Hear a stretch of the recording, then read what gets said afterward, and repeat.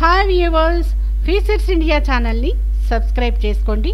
మా latest video notifications కోసం ఇక్కడ కనిపిస్తున్న బెల్ ఐకాన్ని క్లిక్ చేయండి.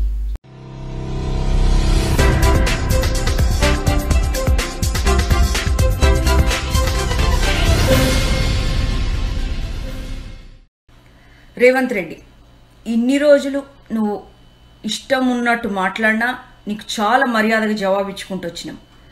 కానీ ఈరోజు నువ్వు అన్ని లిమిట్స్ క్రాస్ అయ్యి నీ నోటికి ఎంత వస్తే అంత బాగుతున్నావు ప్రగతి నివేదన సభ బదులు కేటీఆర్ ఆవేదన సభ అని పేరు పెట్టాలనా?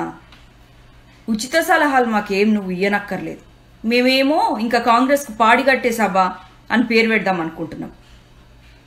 ఎక్కడనో అమెరికాలో బాత్రూమ్లు అడిగేటోని తీసుకొచ్చి ఐటీ మినిస్టర్ని చేసిండా కేసీఆర్ గారు? ఏం వాగుతున్నావు?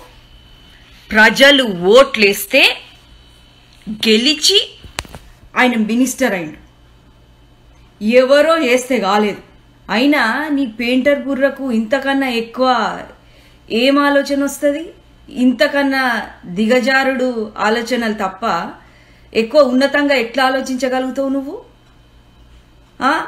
నువ్వేమో పెయింటర్ బతుకు బతికి ఎమ్మెల్యే అయ్యి ఇప్పుడేమో చీఫ్ మినిస్టర్ అయిదామని కలలు కంటున్నావు కేటీఆర్ గారేమో యూనివర్సిటీకి పోయి మాస్టర్స్ డిగ్రీ చేసి ఒక డైరెక్టర్ లాగా అమెరికాల జాబ్ చేసి ఆ తెలంగాణ ఉద్యమంలా పాల్గొని ఆయన అన్ని భోగాలను వదిలిపెట్టి తెలంగాణకు వచ్చి పోలీసుల చేత తన్నులు తిని రోడ్ల మీద తిరిగి బైఠాయించి ఉద్యమాలు చేసి ప్రజల చేత మెప్పు పొంది ఓట్లు గెలిచి ఆయన అసెంబ్లీలో కూర్చున్నాడు మినిస్టర్ లాగా.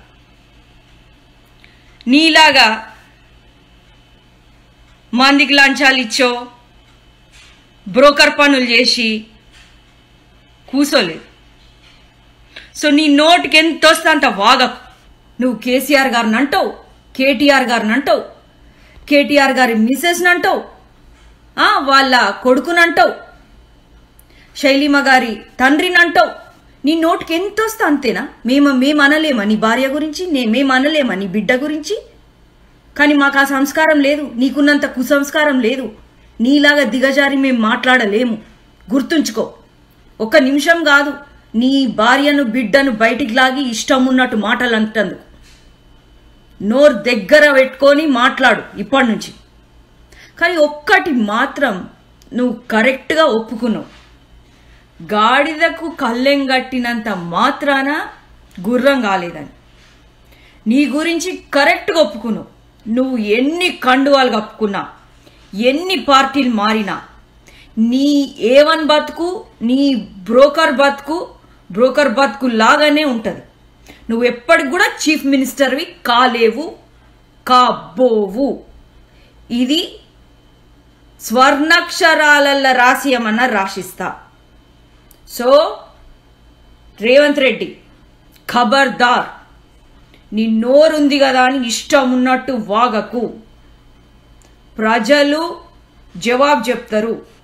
సో నువ్వు నీ లిమిట్స్లో ఉండు. మారుమూల గ్రామాలకు పోతే రేవంత్ రెడ్డికి బ్రహ్మరథం పట్టిండ్రా. ఎవరన్నా ఇంటే కిందికెళ్ళి నవ్వుతారు. మాకేమో నిన్ను చెప్పు తీసుకొని కొట్టినట్టు నీ మీద గుడ్లీసిరి కొట్టినట్టు సమాచారం అందింది. సో నీది నువ్వు గొప్పలు చెప్పుకోకు.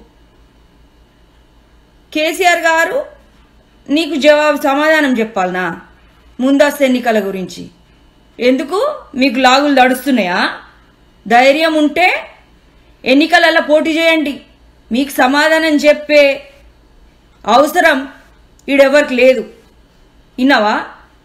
నీ ఇష్టం ఉన్నట్టు నీ ఇష్టం ఉన్నట్టు వాగుడు కానీ ఎటువాడితే అటు మంది మంది అనుడు కానీ ఇంకోసారి వేస్తే ఇది మర్యాదగా ఇస్తున్న వార్నింగ్ నెక్స్ట్ టైం నీకన్నా చండాలంగా నీకన్నా దరిద్రంగా మాటలు అనగలుగుతాం. గుర్తుంచుకో రేవంత్ రెడ్డి.